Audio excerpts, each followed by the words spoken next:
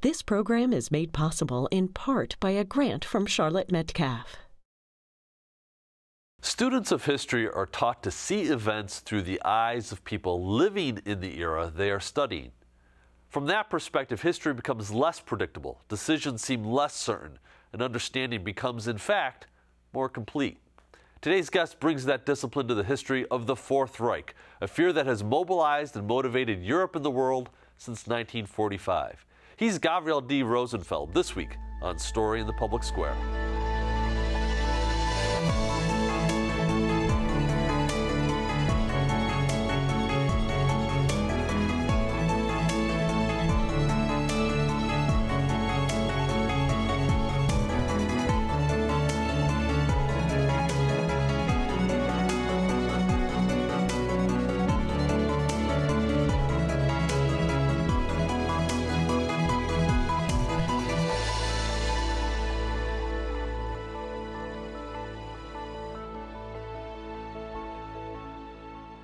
Hello and welcome to Story in the Public Square, where storytelling meets public affairs. I'm Jim Ludes from the Pell Center at Salve Regina University. Alongside me is my friend and co-host, G. Wayne Miller of the Providence Journal. Story in the Public Square is an effort to study, celebrate, and tell stories that matter. To do that, we sit down every week with the best storytellers around, scholars, journalists, filmmakers, and more, to make sense of the big stories shaping public life in the United States today. To help us this week, we're joined by Gavriel Rosenfeld, a professor of history at Fairfield University, who's also the author of a fascinating new book, The Fourth Reich, The Specter of Nazism from World War II to the Present. Gavriel, thank you so much for being with us. Great to be with you. So, your book sort of surprised me when I picked it up because I was expecting maybe a sort of a, a, a look at sort of the, the popular portrayal of Nazi Germany and sort of like the fanciful notion of the man in the high castle, uh, but that's not what it is. It's it's it's it's really a, a history of the idea of a Fourth Reich. Yeah, I think the thing about the Fourth Reich is that it always suggests something frightening, a Nazi return to power. Uh, but when I started to research the book about a decade ago, I was noticing that in the wake of the 2008 financial crisis, uh, the term Fourth Reich was being bandied about in the mass media in very uh, unpredictable ways. So, for example, Angela Merkel, the Chancellor of Germany, about the most democratically inclined person you could imagine, was being accused of imposing a Fourth Reich on various European countries like Greece or Italy because of her austerity uh, insistence on uh, budget cuts. Um, the other thing, uh, since 2016, President Trump has been accused by many critics on the left of trying to impose a Fourth Reich on America. So the idea of a Nazi return to power um, has been expressed in some fairly odd uh, contexts. Uh, but I wanted to get to the truth of the matter, if you will, by researching the history of the term, dating it all the way back to the 1930s and seeing how it's evolved. And so in the 1930s, this was this was an anti Nazi slogan. Uh, let's go back to that period and talk about the evolution of the term. Exactly. So Hitler in 1933 becomes Reich Chancellor. He establishes a quote unquote Third Reich, destined to last for a thousand years. And already, right off the bat, a lot of his opponents, political opponents, people on the left, social democrats, communists, and others, Jews also who had fled uh, in the early 30s or the mid 30s to New York City, they were starting to employ the term Fourth Reich as a more progressive alternative to the existing totalitarian Third Reich. So just to give you two examples, there were Nazi, uh, anti-Nazi social democratic politicians in exile in Paris who were already drafting a constitution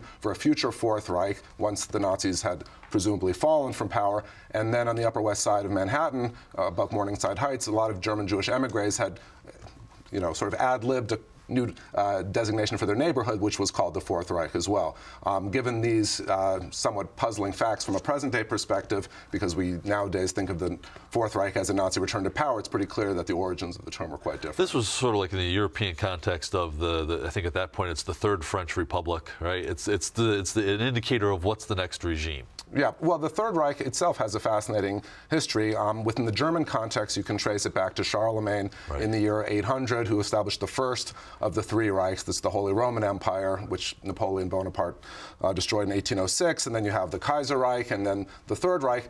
Um, and without getting into too much detail, you can, can, go back to the book of Daniel and the whole dream that Daniel has, uh, where King Nebuchadnezzar uh, is going to be told of a monster made of four metals, each of which symbolizes a different monarchy that was oppressing the Jewish uh, people, and one of them was destined to be destroyed. And you know, there's a very deep, rich history, um, but it does tell us that the Fourth Reich isn't just a political concept, it also has religious connotations as well. So, what was the evolution of the term from the 1930s, as you just described it, which is a benign benevolent word or, or term to, to paraphrase, to today? I mean, obviously there was a lot of change that happened. What were the factors? And, and that's what your book is about. Right, that's a great question. So, um, as I march through the six chapters of the book, what I try and do is show how there's a backstory to the Fourth Reich in the Third Reich uh, itself from 1933 to 45. But very quickly, in the years of Allied occupation of Germany from 45 to 49, uh, there were tremendous fears among American audiences, British audiences, and elsewhere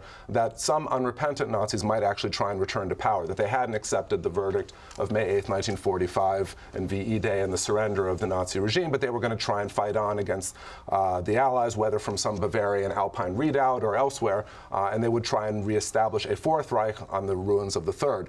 Um, and there was the Nazi werewolf movement, which lent credence to that. There were efforts um, by unrepentant Hitler youth leaders to try and bring back a Nazi regime. Uh, and in all of those instances, which I describe in the book in 45 and 46, um, operations that have since become forgotten to history, like Operation Nursery or Operation Selection Board, crushed these rebellions with tremendous uh, Allied firepower. Um, they didn't make the headlines uh, as you might expect, um, but if you go back to the newspapers, you'll see uh, news stories about Allied forces crushing Nazi uh, werewolves and so forth. And what I wanted to try and do is ask the question, how serious were these threats of a Fourth Reich as early as 1945, 46? Uh, because if you fast forward into the early 1950s, once West Germany had gotten its independence, there were further instances of former Nazi officials trying to return to power, overthrow the Adenauer government, and those too actually had to be crushed by Allied uh, intelligence services. And really only until the mid 1950s, when Germany's economy, West Germany's economy stabilizes, do you really find, I feel at least, and I argue in the book, that the threat of a real Nazi return to power was banished once and for all. Um, but for the first 10 years, we would be mistaken to think that post war Germany was on a stable foundation. Uh, there were certainly opportunities for uh, backsliding to take place, and I think it's healthy for us to keep that in mind as we. Well, uh, that seems to me to be one of the central arguments of the book is that the, we talk about Germany now as the stable democracy in the heart of Europe. Uh, we talk about Angela Merkel as this great, uh, uh, committed to liberal democracy. The new leader of the free world. The new leader of the free world in some minds. Um, but that, where we are now was not a foregone conclusion. And I think that seems to be one of the central premises of your book that there were moments where uh, the history could have changed. Right. So I think um, we're living right now in an era of alternate history and counterfactual history, a new golden age, we might call it. You, you mentioned the man in the high castle recently, uh, a couple minutes ago. Um, but my effort in this book is not just to tell a straightforward historical story, but also to weave in counterfactual uh, possibilities, uh, outcomes that never happened, that, but that might have happened, but for any number of certain circumstances. Um, so we don't want to take for granted that history was predestined to unfold as it did, that Germany was destined to become a healthy, prosperous, stable democracy. Uh, but there were moments when Germany could have moved backwards quite substantially.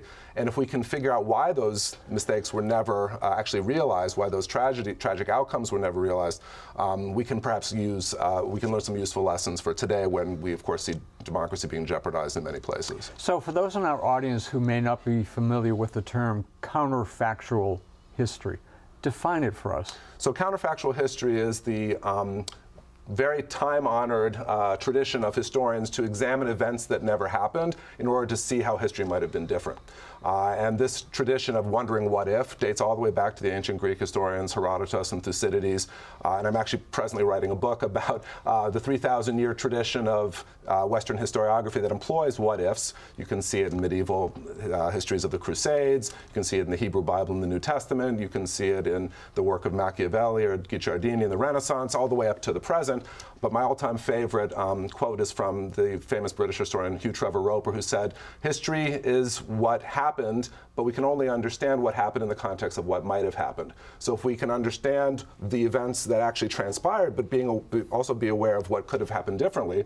For example, you know, the Battle of Lexington and Concord perhaps could have been lost. Perhaps uh, the French Revolution could have been nipped in the bud. Um, there are always moments where history can zig instead of zag, and if we fold those into the way history actually happened, I think we can better appreciate what actually. So, did. so what is it about human nature? I mean, you've just spelled out here this long history of what a very long history of what ifs. What mm-hmm. is is it about human nature that makes us want to wonder what if? So there's. I mean, I always wonder what if, and all, you know, from the small to the large, to things in my personal life, to Of course. to things I read about in history. Yeah, what if I had gone to a different college? What if my parents hadn't moved in third grade? What if I had married a different spouse? Yeah. You know, we can always wonder about these things. The question I like to ask is why do we wonder about these things? at Well, that's the question, yeah, why? Right. So right now we're living in a time of very rapid change. We all know about the technological change, the fear of global uh, warming, the you know the fear of. Uh, you know, a, a wired world where everyone's losing jobs and will be all replaced by robots. Um,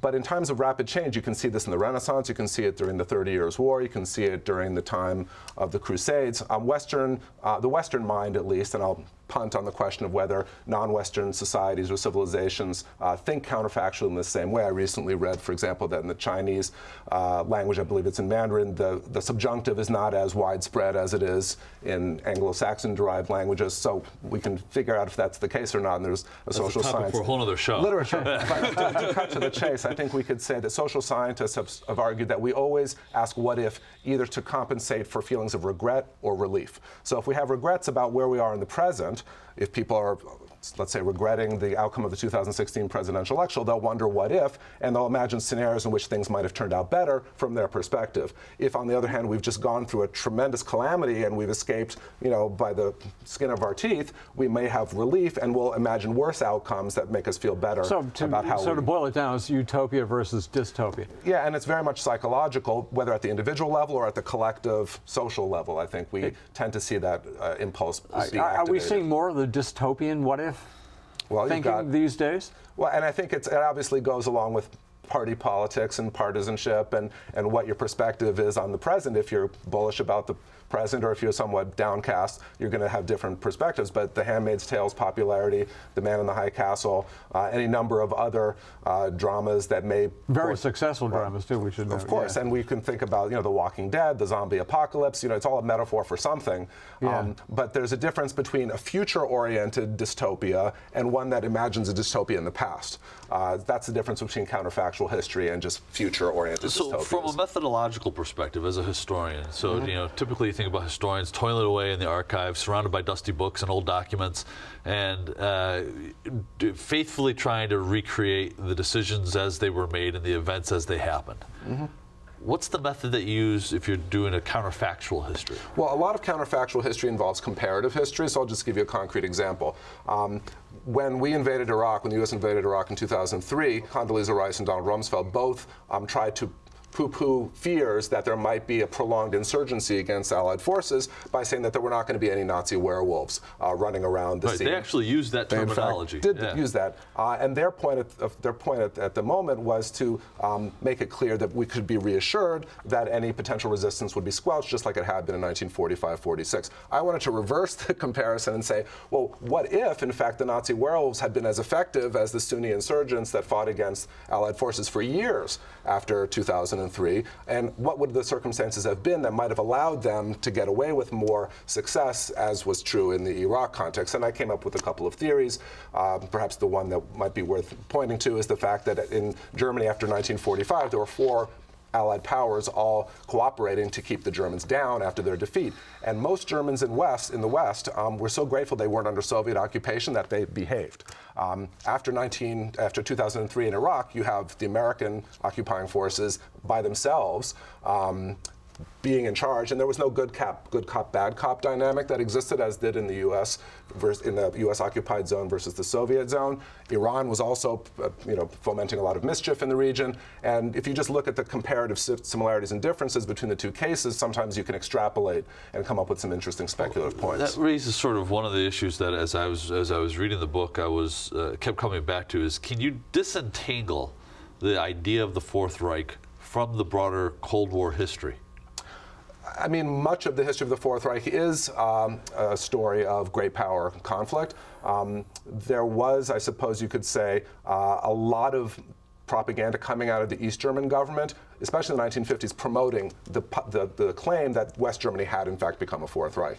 Um, it was a talking point for the Communist East to say that there was so much continuity between the Third Reich and Konrad Adenauer's West German capitalist state that Adenauer state may as well be a Fourth Reich, and I actually document some And, and was that propaganda specifically for East German audiences, or was that for a broader? For both. Okay. In fact, especially in 1959, 1960, when, as we were talking about earlier, the uh, infamous swastika wave erupted, which was a worldwide wave starting in West Germany of swastika daubings and anti-Semitic vandalism against synagogues and other locations, which then spread to the United States in 1960 in the winter, January, February, March of that year, to the point when Dwight D. Eisenhower, the president, had to come out against it and deliver a speech against it.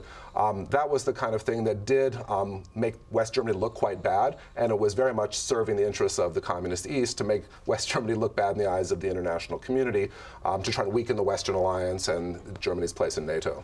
So you've written in this book and in many other books about Hitler and about the Third Reich. It seems to me there's an overriding question, at least I have in the back of my mind. What is, what is it about that period of history and that man that accounts for the profound and continuing interest in Nazism and in Hitler? Is profound and continuing. It's an excellent question. I mean, I think many people have the right motives in trying to plumb the depths of Hitler's evil. Um, some people have the wrong motives. Uh, there are plenty of neo Nazis who take inspiration from the Third Reich and, for their own racist or anti Semitic reasons, want to. Uh, perpetrate acts of violence in his honor. Uh, and there have been isolated examples I've followed on the web of discussion threads on neo Nazi sites talking about the Fourth Reich in very positive terms and aspirational terms. Uh, but most people, thankfully at least, uh, view the Third Reich as the epitome of evil. And I think it's especially um, engrossing for people because it's the history of our civilization. It's the history of Western civilization. Germany is still part yeah. of what we call the collective West. France, England, the U.S., Germany. Um, no matter how evil Stalin was, no matter how even Mao Zedong was, um, those civilizations, for better or worse, right or wrong, are still regarded as either semi-Western or non-Western altogether, uh, and they can be dismissed as somehow more foreign or alien. Whereas Germany is still in the heart of our own Western liberal system, and if our system can collapse so catastrophically and create you know, a tragedy that kills 35 million people in Europe and 55 million people worldwide, we have to get to the bottom of that. So, so you teach at Fairfield, and yes. so you have young students who may uh, probably have learned some of this history before coming to Fairfield. But do you ever talk to them about their reaction to first learning this history? Their emotional reactions. Sure, I think shock, I, anger, disbelief. This really happened. I, I don't mm-hmm. want to put words in. What do they tell you? Well, it changes over the years. Um, 20 years ago, when I started at Fairfield, um, there was still uh, an audience for the History Channel. Um, that's when kids who are 18 to 22 watch television. Now I think they're seeing most of what they see uh, through their you know, various devices, their phones, their laptops, and so forth. And their YouTube. Yes, and much of what they see is now mediated through social media. Yeah. So in my book, Hi Hitler, which I published a couple years ago, I have a whole chapter on the place of Nazism on the internet today, and how memes and meme culture have transfigured the reputation of Hitler and the Nazis into something semi-humorous, if not totally humorous. And so that's the way that they oftentimes encounter Hitler first, and they know that he's a person who's being made fun of, but they don't always know why. And so I oftentimes want to get them into the door by drawing on the, that kind of imagery, but then getting very quickly to the history. There's, there's uh, you know, actually one of the things I wanted to ask you about. There was a meme that went around for a while, and it still pops up periodically. Of uh, it's a film, and I should know what film it is, but it's Hitler in the bunker at yes, the end of the downfall. war. Yeah, and and he's raging about mm -hmm. the collapse of German defenses in the city of Berlin, uh, and he's trying to give orders, and his his advisors are saying, "But you can't do that. You can't do that." That's been transformed into mocking of the 2016 presidential cycle. Mm-hmm. Uh, whoever the defense play in the Patriots some particular week is going to be. Mm-hmm. Uh, and but your point in Hi Hitler was that this is really about trivializing some really evil. Yeah, I think characters. I think it's a reflection of the fact that Hitler's evil in Western consciousness has begun to dissipate. Um, not because we don't recognize that he did some horrible things, uh, but because over time, what we find is that the eyewitnesses uh, that actually lived through the period, they're slowly but surely dying away, and the people who are, uh, you know, post-war baby boomers or people who have been born around the turn of the millennium, they have no immediate contact with that history, and so they can play fast and loose with it. And of course, because irony is the dominant form of discourse on the internet, right. it kind of transfigures everything. So the downfall parody uh, videos that you're referring to, um, they're actually dedicated websites that have um, storehoused tens of thousands of those. And it's to the point now where when I give lectures at various um, locations, I can find uh, a video parody with a mention of the specific city that I'm actually going to be speaking in. So when I gave a talk at, for the Toronto Jewish community, I talked. Uh, there was somebody ranting, who, who, somebody who created a video of Hitler ranting that the Toronto Maple Leafs hadn't made the playoffs. Yeah. When I was at the University of Oklahoma, somebody was had produced one where the Oklahoma Sooners had lost to Iowa State, and it drives the point home that when people channel their frustrations and their resentments through a figure, Hitler, it, it articulates that very powerfully, but it also ends us it ends up having us sympathize with Hitler, which is I think a dangerous Well, uh, emotion for But us this wasn't just a figure. This was Hitler. You go to a Holocaust museum, you see any of the photographs of liberations of concentration camps. You, you read Omer Bartov's work. He's been a guest on the show, and, and I could go through a very long list. I, I don't get it. I mean, how, how can you possibly use this? Well, let alone with marchers in Charlottesville walk, marching around with swastika banners and people in Eastern Europe who are Polish or Russian also gravitating to the swastika. I mean, when you think about countries whose histories are defined by tens of millions of their own people being slaughtered by Nazis, and yet people gravitate to those symbols, it's it's utterly. Im- Well, it's not very uplifting. you- You're so. I have to you're, so you're a, a practicing historian. I'm at least trained as a historian. Mm-hmm. Is this our fault? Have historians failed uh, in our pursuit of, of you know the next round of cultural history, or counting the number of French peasants instead of focusing on uh, you know scholarship that sort of keeps these stories front and center in the public's mind?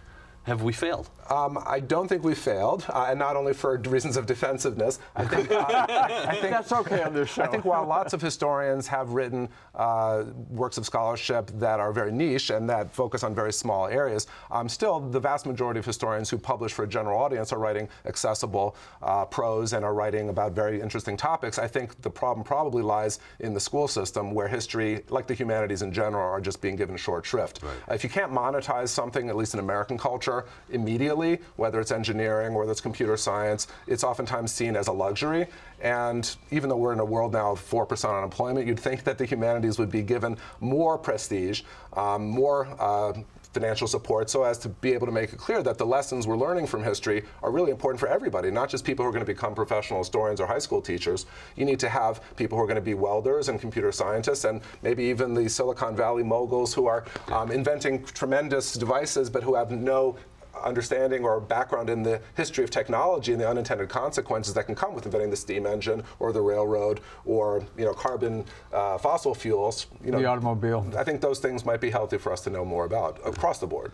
So, so you're you're talking really about some type of educational reform in terms of what is taught and when it's taught to young people in our country. I think that would certainly it'd be certainly great to have more political support at the state level for state universities. We could go down the list of various states that have cut funding for state universities, uh, whether it's Wisconsin or Pretty Illinois. substantially, I Very mean, substantially. Yes. And you know, the investment that was given to higher education after World War II was tremendous and helped to educate an entire generation and more than that of, of American boys and girls. So, uh, you know, I think that's that's that's a given. Um, whether or not in American culture, and I guess I'm a little cynical, having spent a lot of time in Europe, where, for example, in Germany, you still have philosophers getting you know op-eds in, in the German media. That's something kind of unimaginable in America. But um, you know, the almighty dollar and the quest for profit does lead people, I think, oftentimes to try and go into fields that will help them make a lot of money. Business, uh, obviously, at the top of the heap. Um, if you can't be seen as making money through poetry or philosophy or history, it's going to be a smaller field, but by all means, we have to have it part of our core curriculum. There is a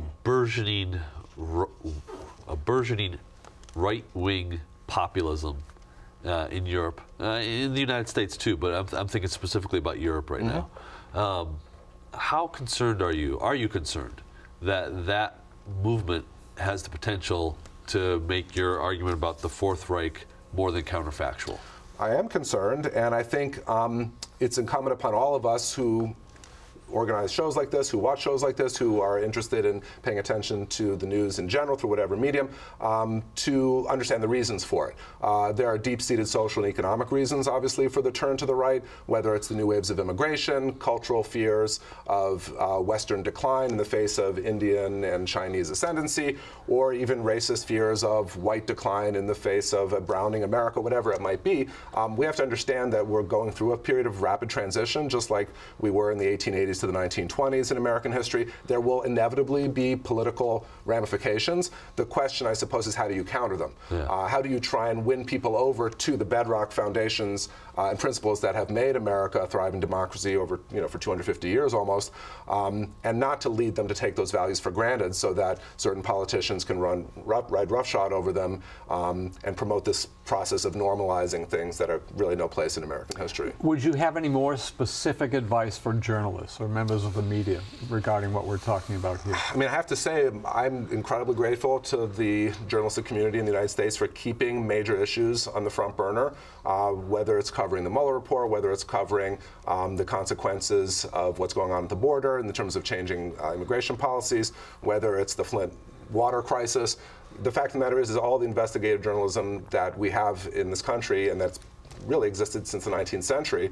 Uh, it's a tremendous asset because without information and without believable information that is supported by empirical facts, uh, we have no ability to act on anything. So I, am you know, in my, in my, alternate life, I would have been a journalist, uh, but I think um, it's not too late. It's your own counterfactual history. well, I try and write the occasional, the occasional op-ed every so often, or yes, yeah. the, the, the alternate history would have had me probably. Uh, That's chased, right. What if I did a journalist? Right. If I hadn't been on the job market for years after getting my PhD in the 90s, you wouldn't have been on our show. So exactly. there you go. We, we, got about 30 seconds left. I'm curious, sort of, how your students. Uh, so we, we, have talked about sort of the challenges coming out of high schools into the university setting, but how do they take to sort of when you present to them a counterfactual argument?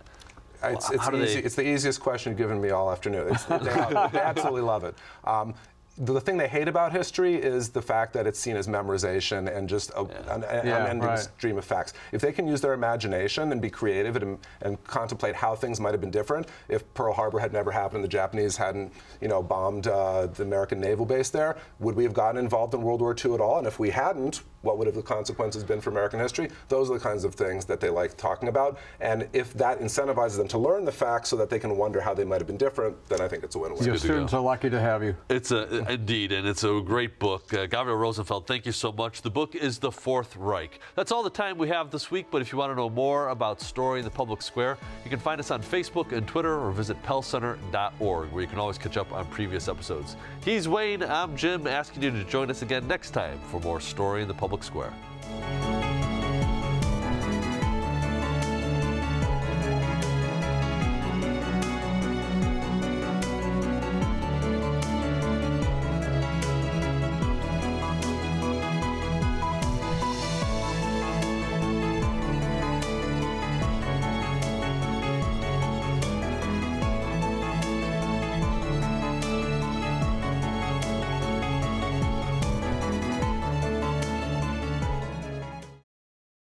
This program is made possible in part by a grant from Charlotte Metcalf.